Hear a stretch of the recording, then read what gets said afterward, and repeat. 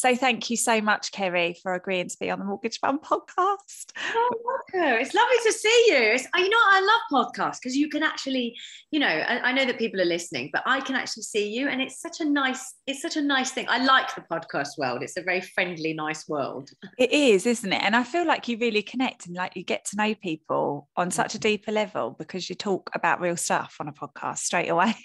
yeah, absolutely. I, I I've really enjoyed doing mine. You know, the last kind of two years. I can't believe I'm saying two years. Is it two years? Well, I mean, well, probably just uh, just under because it was we started it on the first lockdown, which is you know a year and a half ago, isn't it? Yeah. So I just can't. I can't believe it really, but I I I do love it. I love talking to people. I love, you know, like exactly what you said. You get to you get to just kind of have a chat with people that you wouldn't perhaps get to chat to, and I exactly. Really yeah, well, thank you for being on ours. Um, you're a completely different guest than we've ever had, and probably our most high profile. So we're really excited, um, and I'm sure there's going to be lots of lots of people that are excited about it. So, um, one of the things we're trying to do is interview what we would call inspiring women in and outside of our industry, um, and you are definitely that. So, I want to find out a bit more about your story, really, and how you've come to be the Kerry Ellis you are now. So, how did it all start? How did you know you were talented? Tell me right back from the beginning. Um, so I, I mean, I was just a a local. I went to a local dance school when I was a kid. You know, like most young kids do. You know, their parents find them something to do. As I'm a parent now and finding things for my kids to do. You know, one of them does football and one of them does uh, like a fun club thing. And it, it, I, I think I probably was just put into a dance school like lots of other little girls and boys when, when I was younger. Um, probably it's just a little something to probably wear me out I think.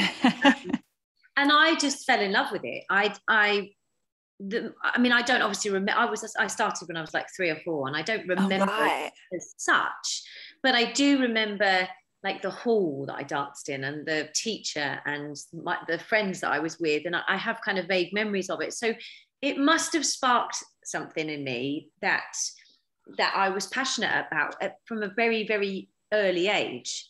Um, and now I look back on that and I, I feel very grateful to have had a passion so early on because I think yeah. young people now, they don't know, they don't know what they want to do. They don't know what they want to be and they've kind of lost sight of what makes them tick, what excites them, and what options are out there. And I'm constantly saying to young people, if you could be anything, you know, what you ask a kid when they're five, if you could be anything, what would you be? And they're like, oh, I don't know. I don't Yeah. There's too much. There's too much in the way, and I feel very grateful that I had that kind of clear um, passion when I was younger, and it it took me through to where I am now, and and still does, still ignites that joy and that drive, and it's a it's a very difficult industry, but I love it, and I think that's that's what's got me here where I am. I think so. Yeah, lots of dance schools, lots of. I went to a drama school, um, did lots of shows along the way um, worked a lot, and then when I left college, I I literally just jumped straight into it and went went from job to job. So when you say you went to um, the school, uh, is that what age was that that you went into drama school? The drama school at 16. So I left I left school. In fact, I was just I, last night I was talking to my friend's daughter who's just turning about to turn 18, doing her A levels, and you know, and I was talking. She's talking about how difficult it is and, and how much pressure A levels are. And I'm like, but what do you want to do? And she's like, oh, I don't know, maybe, you know, buy buy clothes or be, you know, be a buyer or something. And I'm, I'm and I didn't even, for me, it wasn't A levels and, and that wasn't even a, an option, not an option, but it wasn't on my radar. I was like, how do I get into this industry, industry as fast as I can, doing what I want to do? And so you just always knew.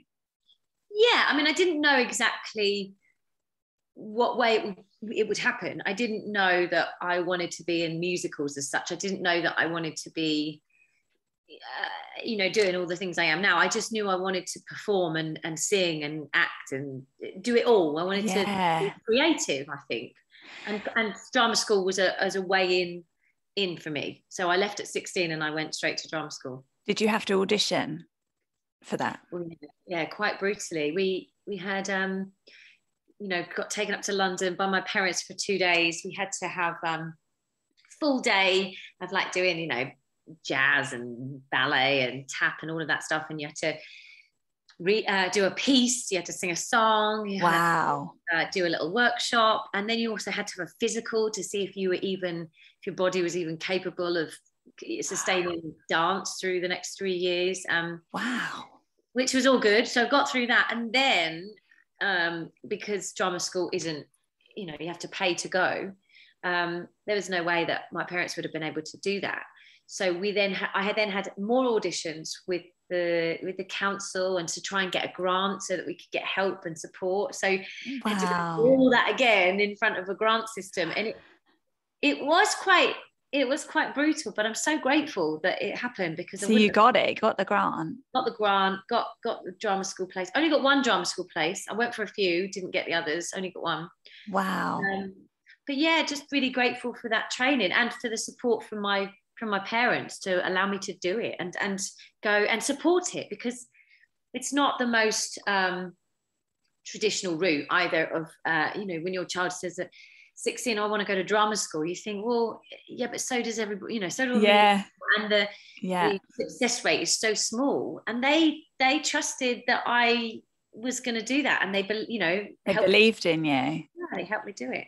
So how did you know you were talented? Because obviously there's so many people that go dancing and there's so many people that want to sing but quite honestly can't. You know it's a gift. I, I believe that you can um, obviously make better but it is a gift. How did when did you know you had that gift? I don't think there was a, a light bulb moment as such. I think like i've you know just said it, it was more about my passion and drive for it. It wasn't a case of me going oh i have a talent. It was more i love this okay. and i want to do this so i'm going to make this work i'm going to make this happen. Yeah. And that still happens now you know that that's I, I still don't go, oh, I'm brilliant. And I'm, you know, I, I don't, that's not how I think. My, my brain is, oh, maybe I could go and do a show here, or maybe I can create a podcast, or maybe I can, you know, apply to do this job or to do that yeah. show. So I'm always, it's more about the creation as opposed to the talent driving. The talent drive. That's interesting just in itself for me to hear that.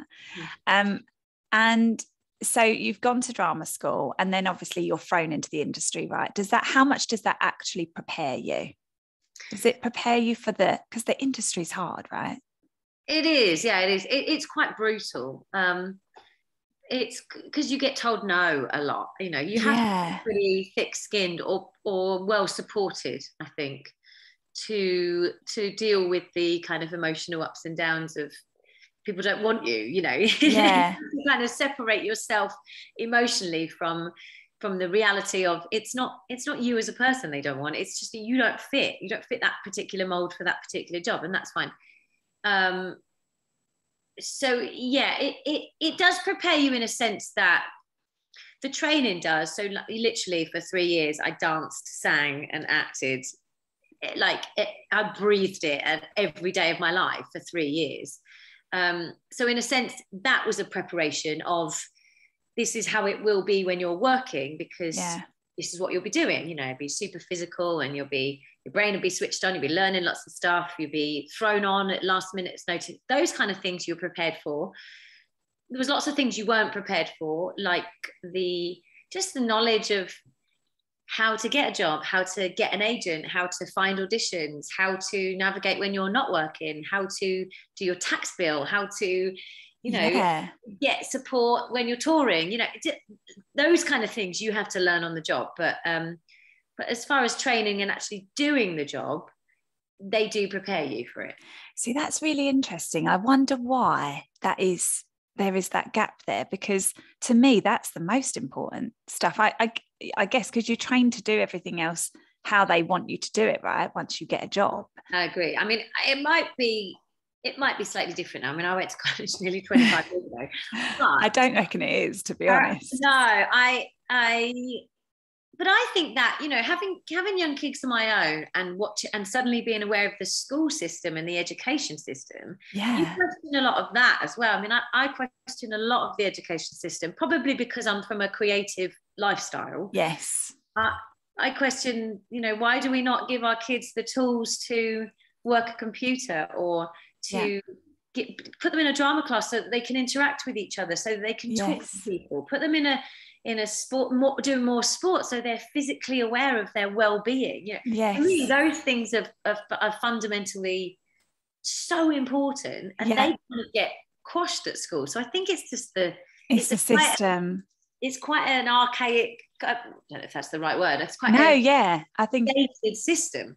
It is. I mean it's one of the things we talk about like when you're a teenager you need to learn about property and mortgages and and Absolutely. tax and stamp duty Absolutely. and credit scores and you don't you no, just no. do not know and there's no. so many grown-ups as i call them even though i am one there's so many grown-ups that don't know this and adults so yeah that's why i was so curious as to you know having been in i've been in auditions myself um, and probably i'm definitely the most naive person in the room and it I always wondered, you know, do you all know the secret? no, and I just don't like, is this an inside club that I'm out of? But it sounds like it's like, no, you just you just do it and you kind of pick up your own experience. Same though, isn't it? Because I think we could arm young people better. We could give them could give them better information so that they they can make better choices. Yeah.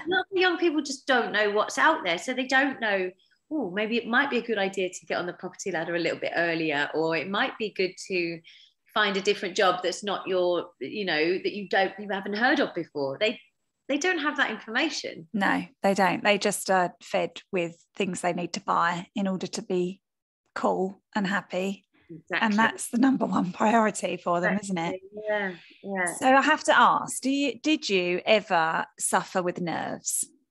Oh God, yeah, I still do. I mean, do I think, you? I think nerves is just a part of of life, and and especially in what we do because we stand in front of people and do do thing do crazy things that isn't normal. You know, we I stand yeah. and sing, or I stand and talk, or I stand and dance, or whatever it is in front of thousands of people, which is it's not normal.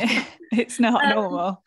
So yeah, I do get nervous, but I don't mind getting nervous. I think I've learnt to deal with my nerves um, because for me, they're a good thing. For me, they're just adrenaline, and it, it means that I care about what I'm about to do. It means that again, it's that passion igniting in me. If, if I get nervous, it means I'm excited and yeah. ready for the ready for the challenge, as opposed to I'm so nervous this is going to overtake anything I can do. Um, yeah, so I wonder if that's where you just did that from a young age, or if that's just the person, because you strike me immediately. I can sense your energy is re- you're you got high energy, naturally positive. Like you can just sense that from someone quite quickly. So it might just be your natural disposition, or whether it's because you've just naturally followed that path from a young age when it is easier, definitely when you're younger, isn't it? Not to have that insecurity and not to have that yeah. second voice that can drive you basically if you listen to that. Absolutely. I mean i've had i have had incredible nerves in auditions or for performances that have been heightened. Yeah. But, but i've always come out the other side you know and, and and i've always kind of got through it. So i think just age and experience maybe of just living through those those experiences and moments that you go well I survived it and nothing happened. So it's okay. So I think when it happens yeah. again, I can rationalize it and go, it's going to be all right. It's going to yeah. be fine. Don't stress. If anything, it's a good thing. And and how about after lockdown? The first performance you did after lockdown, how did that feel? Was that a did you go back a little bit and have to kind of re-remind yourself because once you get off that train, is it different? Yeah, I think I was I was quite I was quite proactive through the lockdown, as I'm sure you're not surprised to hear. No. so I got busy and I, I, did things like obviously my, my, podcast and my book and sold my albums and I did a few little live streams uh, from home. So I was I was active, and that was more so for for me creatively keeping that side of me going because I think without that, yes, I'm a mum and I'm a wife and I'm a sister and a daughter and and all those things, but uh, without that part of me, that creative part of me, I feel like I'm there's something missing. You know, there's yeah. a very big part of me missing. For me, I had to keep that going in some some sense. And I did a couple of um, we did a couple of live streamed shows. Like I did one at the Coliseum uh, where they where we filmed it with a band. No, oh, wow, which was really strange. Oh yeah. Um, and I did one at the Palladium for Night of the Musicals or something that they they televised. Um, so I did I did a few things. I didn't do lots, but I did enough that it I wasn't just out of it for a year and a half. Fine. So I just having those moments of you know excited nerves performance it wasn't it wasn't that immediate huge big audience at all but it was keeping me going it was kind of almost like i don't know just keeping my hand in as such yes from the first when the first lockdown kind of released a little bit i did a couple of um like outdoor socially distanced um uh performances at, at a what was it? It was an outdoor, outdoor castle and i did a it was you know there was it was a, there was an audience but they weren't huge. Yeah. We set spread out. So again i was kind of doing it. I was so that by the time when it did lift and things did start to pick up didn't feel like I'd, I'd left or I'd had a big okay. it wasn't that moment of whoosh you know here we go. I mean I did I did perform at the the Albert Hall uh, uh, oh, wow. That's amazing. months ago. And that was the first time to a full kind of packed audience. And that was electric just because the energy in the room for everybody everyone that was on yeah. stage in the audience was electric. Um, and that venue is special, isn't it? That, the venue's amazing. I I love performing there. I perform there quite a bit, and it never gets old. It always feels like a sense of occasion. It's very special. So to come back and do a big show there, yeah, was was wonderful. It was just so brilliant. I have to say, I love how you literally just threw out, you know, I started a podcast, did a book, did an album, you know, sent those out. Like, like that's like doing the laundry, the grocery. Like they're like major things. So we're going to give them a bit of time. Like, right, when did you write the book? Did you write the book in lockdown or was the book coming? What? Yeah, yeah. So um, a, a lovely lady called Kelly Reynolds uh, contacted me about four or five years ago Mm, yeah, about four years ago, and uh, got in touch with me. And she was like, "I'm a book writer. I'd love to, you know, collaborate with you and, and write your story." And I was like, "Oh no, no, I'm not. You know, I don't want to do that. I'm not old enough. Who's going to read about me? You know, whatever." And I kind of said, "It's really kind of you. It's lovely to meet you, but you know, kind of no, thank you." And anyway, we kept in touch, and she sparked obviously something in me that yeah. went, "Oh, maybe there is a maybe there's a." maybe there is a first chapter or, or a first act or a first half for me to, to write. And then in, when the lockdown was fully loaded and we were literally couldn't go anywhere, I contacted Kelly and I said, look, um, never written a book before, obviously, as you know, and I know I've said no, but I'm gonna I'm gonna sit still for a couple of months. It seems, you know, will you help me put this book together? Um, and she was magnificent. So we really? would talk literally like this on Zoom for a few hours a day, most days, going literally back from when I can remember to to the to the lockdown. Yeah. Um, and it was it was so brilliant, and it was so so much fun going over all them stories um, and and putting it down on paper and, and and kind of mapping out this this book. Um, and and yeah, it's it's done now. It, Amazing.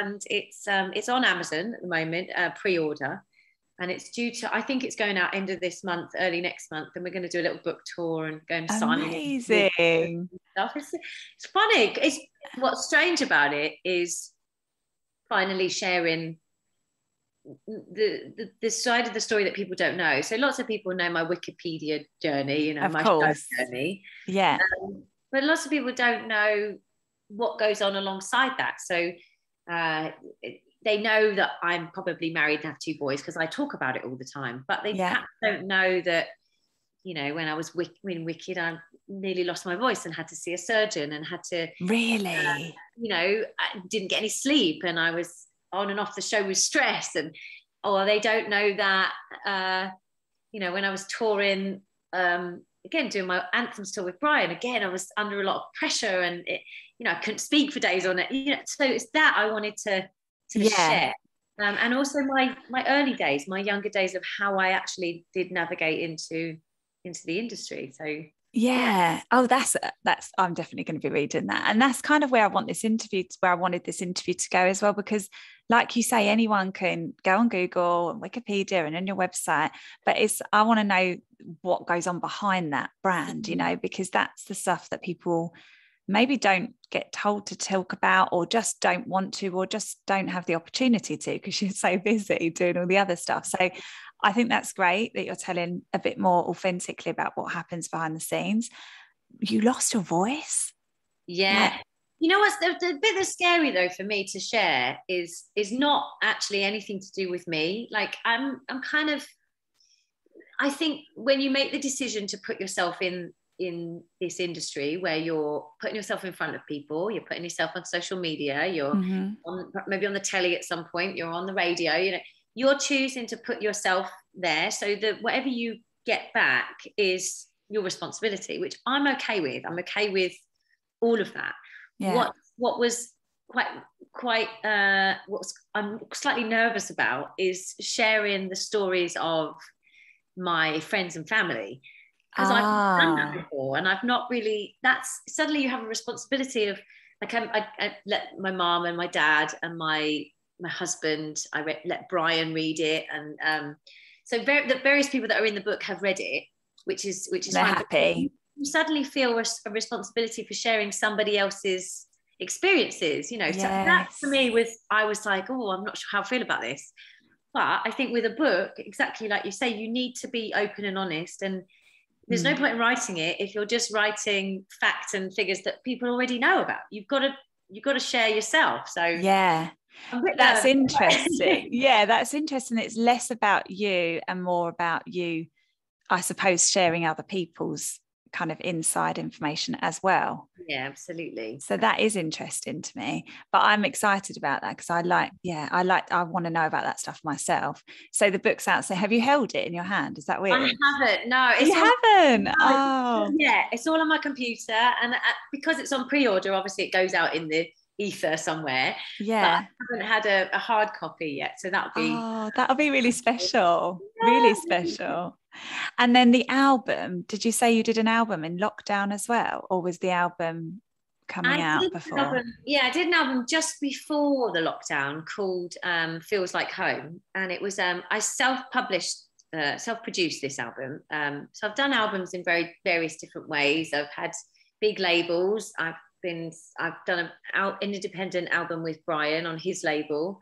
I've done a crowd fund. I've I've produced them myself. I've you know any any which way I've done them, and I wanted to do something because I was going on tour around the country and doing lots of um, lots of my own shows. I wanted something that I could sing for starters, and something a bit old school of when you go to a show and you can get the album and take it home. You know, yeah. and just click a button and you listen to it. So I, that's that was my plan. So I did it, made this album, really proud of it, and lockdown hit. So I was like, I've got all these boxes of albums that you don't normally have. You know, normally no. to distributing company and. So I had all these boxes of, of my album in the garage. I was like, oh, what am I going to do?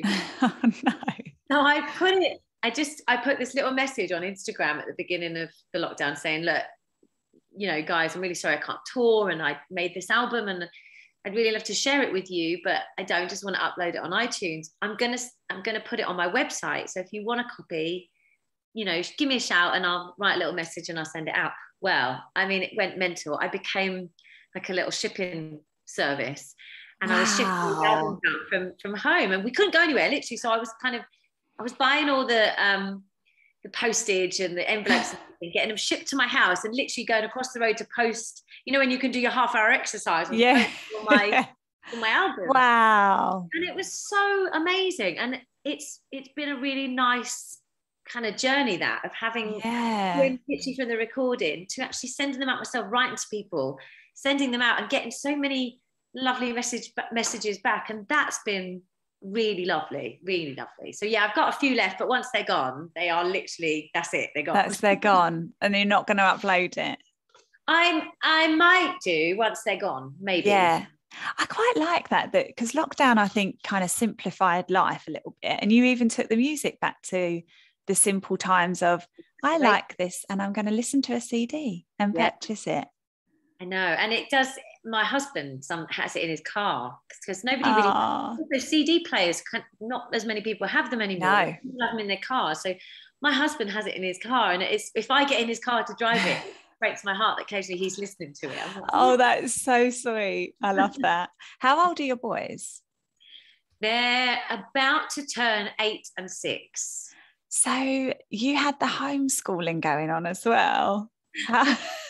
so yeah, they're like they're they're um, very similar ages to mine. Mine are eight and five. So oh I know what your life looks like firsthand. It's quite oh it's lovely. It's so lovely, isn't it? The ages, but it's they need you they need you a lot. So how did you how do you manage that with show business and how did you manage that when you had them full time? Um well, I mean lockdown we're usually so busy. We're, my husband and I are literally high-fiving each other. Our, our childcare is a constant nightmare because because it's always changing. Our, our hours are always changing. I might be away for like a week and then I might be around for a month and then I might be off for, you know, two nights here. And, and it's really difficult to get people to help us. We have an amazing family that do help, but they're not yeah. down the road. They're not across. So we're, it's always a bit chaotic. Um, so lockdown was, it had real bonuses that we all just stopped and we were together as a unit for that period of time, yes, it was stressful. Of course, the homeschooling was, oh my God, I never ever want to do that again in my life. No, me neither. That was stressful. But actually, as a being at home as a unit and not having to go anywhere and not being able to go anywhere was actually really nice. We could have dinner together. We could go go on walks together, and we could just go back to those simple things that we were a really active family anyway. We would all take the dog out and we would those kind of things I really enjoyed. And I think yeah. benefited and thrived, especially the little one, Freddie, as a family. We really kind of bonded. Um, but yeah, it also had its challenges because I mean, I think for everybody to be locked up for that long without anything else going on is yeah. really, it's really difficult. And and although the boys took it in their stride, as I'm sure your kids did too, they live in the moment. They don't really I'm not sure it's going to affect them until later. Years uh, later. They just yeah. live in the moment. Kids go, oh, right, okay, we're staying at home today. Oh, okay, I'm going to be a pain while like while we have to homeschool, but then I can just be at home. They, they have they don't have that worry or that stress of what's, what's going to happen. No, they don't. No, so, they don't do the what if, do they? No, I'm not sure that they were particularly affected. And also the going in and out of school, um, you know when that was kind of coming and going they just got on with it. I'm quite lucky that they're they're quite um quite confident and they're they don't really they, again they just do. They don't really take things um, to heart too much. They just get on and do with it. So yeah. but they are very lively so they've got the high energy. Oh my god! So yeah, it had its it had its ups and its downs, if you like. and is your husband in the in show business as well? Is no, my husband works in football, so he coaches. Um, oh, okay. Football. He works at um, West Ham now, he, but he used to work at Luton, so it was very close. But he's just changed and gone to West Ham, so he has a crazy job as well. He works he's got a big career too. So it's it's it's mental. yeah. And are the boys, do either of them look like they're following in your footsteps? My youngest might. Um, he goes to a little uh, club called, or, or club, um, school called Mealdale, which is like a little, um, it's a college actually. It's a, it's a theatre college, but they do like um, weekend classes for kids. So he oh, goes, okay. And he does, he does love it. And he's he's very he sings around the house and he's he'll move to music so there's definitely something there he quotes movie you know uh, quotes and says things he's heard it quite uh, quite well. So th- there's definitely something there, but whether he goes on to do it, I don't know. No, it's too soon to to say, but you can nurture that because you know how to do that, right? Does he? Do they get impressed by what you do, or is it just no. normal? They don't. No. So if you're like, I've just done this, and look, I've got a CD, they're like, cool, mom, yeah. They the only uh, the only time it, it, they were, I think they were impressed, or they I don't know, they had a bit of a moment was in in the lockdown. We I did something for I can't remember when it was. I think it was one of the um when one of the songs came out that Brian and I redid in lockdown called Panic Attack, and we uh, yes. it in um in the lockdown. And I was doing an interview, I think on breakfast television or something, but I was in the office doing this interview because everybody had to do them on Zoom. yeah. So I was in the office and my they had it on in the kitchen. So they were watching me in the kitchen and then that freaks them out that I was there in the office. yeah. That, they don't they don't really care or they, or, or they just don't really they don't question it. It's kind of just what I do, and this is normal. They don't think anything different it's weird. Yeah, it is. It, it, it's interesting to hear because I think even Beckham's kids say that, and you think, really, like your dad is David Beckham, like your mum is Victoria Beckham. They're around it from they're around it from day one, so they yeah. don't like my kids were. I mean, I, I sang through both pregnancies, so I was performing through being pregnant, and wow. then by the time they were born, I was taking them on tour. So they were in and out of theatre. Really?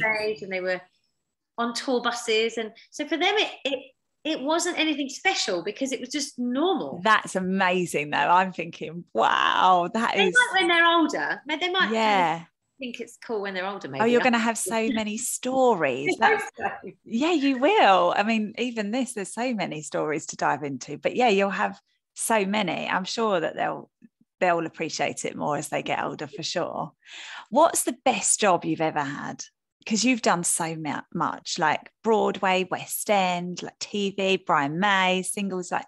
But what has, what's been your your highlights that you felt like, oh wow, yeah. Yeah, there's there's lots. I mean, I'm always grateful to do to just be working really, and to do, be doing a job that I love doing.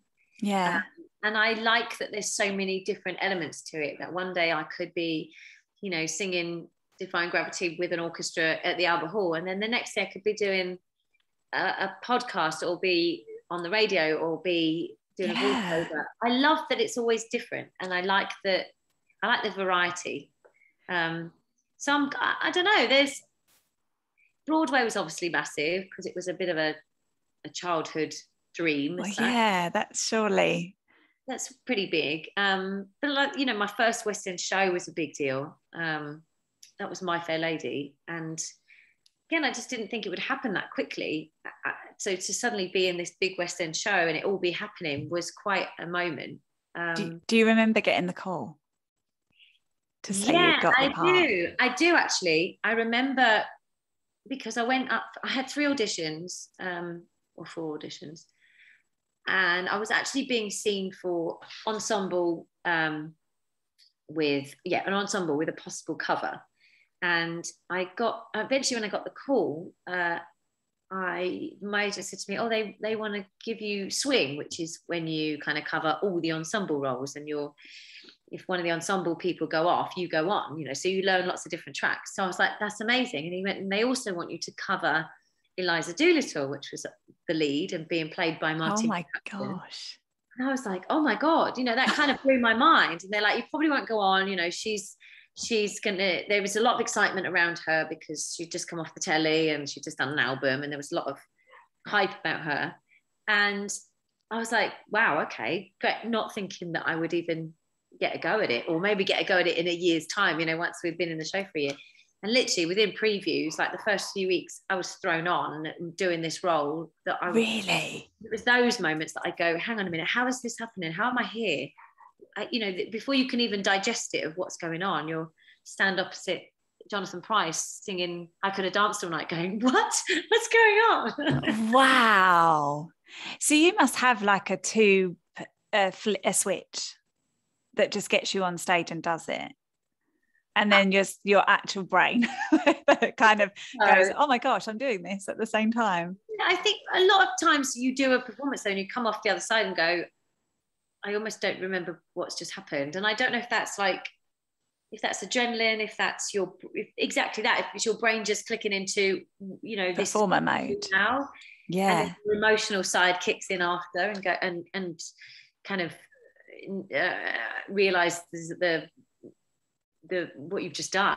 Yeah. Um, I think it's like my boys, you know, I've been doing it from such a young age that there was no, it was, there was no big dramatic jump, you know, it was a gradual, yeah. I've been in my dance classes and then I went to college and then yeah, I, I see. Job. You're just adding layers, aren't you? Yeah, As opposed to, yeah, I see that. It's like your normal is other people's extraordinary, but you've had that all the way through and yeah. just added layers. So that's why even earlier when you were just like, oh yeah, you did a book and this, like you don't even know kind of the extraordinariness, I guess. So that's why when someone asked you if you wanted to a book, you're like, about what? Whereas I'm like, oh my gosh, there's books out there from people that's done half as much and they've got three books. So I guess it's a perspective, isn't it? It's where you've come from, it's what you know. Mm. Um, and you must see that more in your podcast because you interview so many different shades of of performers, don't you? I do. And I love I love that. I, I mean, I've done bits of radio and stuff before, but nothing like my podcast. That was a real kind of moment for me to not be the person being interviewed and to be asking questions. People like most of the people I know or I have some kind of connection with, that was definitely season one. They were all people I've, I'd worked with or had, you know, done shows with. Season yeah. two, I started to reach out to people that I, I had a connection with, but I didn't know as well. So then to start to get to know them on a podcast was so interesting for me. And again, it, it wasn't something that I kind of sat and went, right, right, my my show needs to have structure. And like I would a show, I would structure the song so that the, there's highs and lows and there's a beginning yeah. there's an end. And with the podcast i didn't do that at all. I i, I kind of sat down and went initially what what do i want to get from this? Well actually I, t- I just want to talk to people and i want to i want like a performer to talk to another creative yeah. have a chat and see where that goes. And that's how it how it worked. And i loved that element to it that there wasn't any i wasn't trying to get anything from anybody. I was just having a chat. And, yeah. and for me, that was really interesting. And then once the se- first season went out, people would obviously start messaging as you do. And they're like, oh, it's really good. And you're, you've got a flair for this. And you could, you know, we're loving the chats and we're loving the topics that you bring up. How do you come up with your questions? Da, da, da. Uh, so that was really, really nice and really interesting for me because it wasn't, it wasn't planned. It was, it was literally just having a chat. And I, and that I thought this is this is really nice. I hadn't even thought of this as an option before but maybe this is a journey that I can pursue and I can progress with because it's something I really enjoy doing. And I think that's yeah. going right back to what we said at the beginning when you've got a passion for something and when you've got an interest in something it's almost like it's not a job. You just enjoy doing it and it takes you on this lovely wonderful weird journey that you're just invested in because you love it.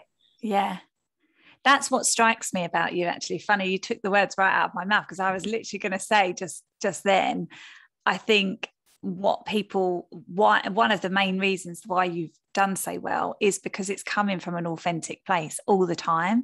So you're not picking things for the attention of it you're picking it for the intention of the fact that i love this. And i think there's that the world that you're in is full of the previous that pit full of people looking for the attention don't even care what the intention is the intention is the attention like that's and then that comes from such a different place mm. um comes with so much psychological stuff around that well why why yeah. do you want the attention why do yeah. you need it is it going to be enough is it ever going to be enough yeah. do you, you know what kind of attention do you need and want so that's what strikes me with you is it has come from the place of joy from day one and you kept that. And i think um, a lot of people have to actually teach themselves that skill in their lives and probably are still older and don't know how to follow their joy because as adults you kind of like lose that ability. You stop choosing that. So well when i met my husband we were we've been together nearly 13 years now. And when I met him, he was working in sales, you know, had a great job, worked in the city, and we'd been together for maybe, I don't know, maybe a couple of months. And he was he was obviously starting to be surrounded by theatre people and creative people. And we I I met him and then six weeks later I flew to New York. It was literally just before I was going to do Wicked. Oh wow and we met and we I was like, oh God, this is really bad timing. you know, you're great, but I'm about to go away for six months. And anyway, he ended up coming out and flying out to see me, and and and eventually the, his current job, you know, he was out coming to see me basically too much. And he he, I remember the conversation. We were sat on um, uh, in Central Park and talking about life and careers and this that, and the other. And he was like but you just seem like you're you love what you do and you're so lucky to have that. And i said well i'm not lucky to have a job that i love doing. I found what my passion was and what i my passion drove me here. I said well what do you love doing? And he said football. And i said well why aren't you working in football? And he kind of went oh yeah. So when we got back from, amazing. back from new york when he got back from new york he then started on this journey to become to work in football. He played when he was a youngster, but he'd amazing kind of fallen out of it and not been encouraged to go. If you love football, follow your football dream. It, you don't have to be a player. There's so many other jobs in football, but yeah, people miss out those opportunities to, to remind people what do you love? What do you what what sparks you? What drives you? Because we all know work can be really difficult. We've got to work for a living. We've all got to do our thing. And if you don't love your job, it can be really difficult and really yeah. tiring. And but if you love something, you'll go that extra mile and you'll, you know, you'll get up and you'll be ready to go and you'll want to go to work. Whereas if you do a job you don't like, that's going to be really difficult. Yeah, yeah. And it's difficult even when you love it. Yeah, that's it. And I, I imagine you have friends around you that really like get that from you, you know, that reminder and you've pivoted them, or like your husband, that you've pivoted them in a different direction because when you're around it, you can just feel it. You can just feel when someone's in their joy. You can. And I I think because I'm usually surrounded by creative people that do love it. Some people don't love it, but you're you kind of you forget, you almost forget because you're surrounded. We're all having a nice time doing what we do because we love it and we're we're privileged to be there and we're grateful to be there doing doing a real unusual job. Yeah. So kind of forget about it until you know that happens. You meet somebody that perhaps isn't. Isn't. And yeah. That's stuck in the grown-up world of stuck not saying you're not a grown-up world, but you know that the the new story that you're taught is um and you know there's two stories, isn't there? Follow your joy or eh, do the duty, like earn the money or do whatever you need to do, like what you should do. So um that that is so inspiring, like that people hopefully will listen to this and think about their own selves and ask themselves, Am I living in my joy? Like, or is my joy, you know, drinking on a Friday to get me through the weekend to start all over again? Because we all did that through lockdown. Yeah, yeah, yeah, true. you feel better for it? no, no, exactly. Now, you've got a song called Panic Attack, mm. and I mm. want to ask you about this. Have you suffered from panic attacks yourself? Did you write the song like what is the inspiration behind that? Obviously i'm imagining it's anxiety and panic attacks but yeah. it, it absolutely is that. Um so uh i was doing um what was golden days which is the last album i did with brian and we co-wrote a lot of songs on that. We did some covers and co-wrote some new songs and he was he had the essence of that song um, okay he was out on tour um, with Queen, and it's amazing, isn't it, that somebody of that stature on a worldwide tour could have an insecurity, have a panic attack, have a, you know, um, have that moment of fear. Yeah. Uh, doing it for as long as he's done it for, you know, being adored, being the legend that he is, and that he could go through something like that. So he came back off tour and was like, I've got this kind of essence of this song. And he kind of read me out some lyrics and he had a bit of a, a bit of a bit of a medley. And uh, we we progressed it together. Um, and talked about it lots. And we, we put it on the album and didn't really think too much about it. It, it got, we, we sang it on tour a little bit, but didn't really resonate. And then when the lockdown happened, I put it on one of my stories. I don't know what possessed me to do it, but I, I was putting on, um, you know, a video or whatever, and I tagged the song on. And Brian called me and said, you know, that song seems to have summed up what I reckon what a lot of people are feeling right now. That yeah, there's so much anxiety out there right now because nobody knows what's going on. Everybody's having that moment of panic in various forms. I'm sure some more dramatic than others, some you know more effective than others. But everybody has that is having that moment of oh yeah. Um, I I had it. I had it uh, kind of early on in lockdown, maybe about a few weeks in, because I think suddenly the reality hit me of because as far as I was concerned, I was still going on tour. I was still going to Japan. I was still doing all these things. And then literally, as we got to the dates and they were kind of dropping away, getting, getting uh, rescheduled, I it started to to kind of uh, to resonate. And I do remember being at the kitchen sink and washing up the dishes and suddenly just starting crying. I didn't. Uh, that's not like me at all. I didn't no. know where it come from. I was like, what's wrong with me? And anyway, James kind of sat me down. I got on Zoom with a couple of my girlfriends and we chatted and it and it was fine. I'm quite fortunate that I haven't really experienced it much more than that. Yeah. I know lots of people that do. I know, and Brian's quite openly, openly talks about his anxiety and depression. Um, and then he he obviously brought this song up, and then he said, "Well, maybe we can try and uh, put it out again. You know, do it something different with it and put it out." So we did a new video. I literally recorded it against my brick wall over there in my garden. Oh, was it that brick wall? Funny. and and he did he did a little guitar solo in his loft, and we were going back and forth with a few little uh, new lyrics and bits and pieces, and we put it out and. That was it, really. It was just to kind of give people a bit of comfort. There was no agenda with it, just an acknowledgement of what's gone on. Yeah. And that's obviously that, you know, the news picked it up and, and stuff. And and that was the, I, I, hope it gave some people some comfort. That was yeah. It. well that's once again the intention behind that was the mm. right one you know just oh i hope this helps somebody. And then it lands and tends to be what what gravitates to, towards everybody you know and people resonate with it. I wasn't sure if it was you or brian. I expected you to say the other way around you know if i not to say i think you're anxious but yeah, like you say you wouldn't necessarily think it's going to be you know Brian May and that he experiences this. Yeah, yeah. But it affects everybody. It, it does it, affect everybody, and I think definitely the lockdown has highlighted it, and some people have have benefited and come through it, and other people have really struggled. Um, yeah, and it's not easy. Uh, but I think one thing that has come from it that is everybody or, or I hope that people have realized it's more common than you think. I think absolutely it's just them and they're neurotic and they're you know overreacting and mm-hmm. but actually I think it's hit everybody. Yeah, had a moment in some way.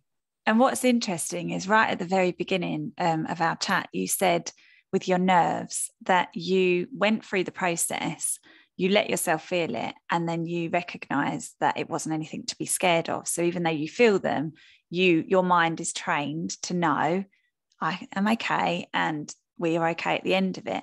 And actually uh, being an anxiety sufferer myself that is the solution to mm-hmm. panic attacks to anxiety is living through that feeling and knowing that you are going to be okay so that your brain recognizes and says it's okay i recognize this Whereas what we actually accidentally train them to do is go, this is scary. Uh oh, uh oh, uh oh, I'm scared. It's those scary feelings. So it's really interesting that right at the beginning, when you acknowledge that, I thought, oh, she's got this nailed. She already knows the secret. Like she's either read the same book as me or she just instinctively lived through it. And that then didn't develop into anything. Yeah. Change your mind. A lot of us, I think a lot of people on stage, there's a kind of thing that everybody says that you know we're not saving lives. And we're in a sense no we're not saving lives you know. And if we what's the worst thing that can happen? If i go out on stage the worst thing that can happen is i might forget my lines or i might you know say something wrong or or sing something wrong or Mhm. you know costume. It's it's so i'm not in a in a surgery deciding whether somebody's life is in my hands or not. It's not. So i I- if Yeah.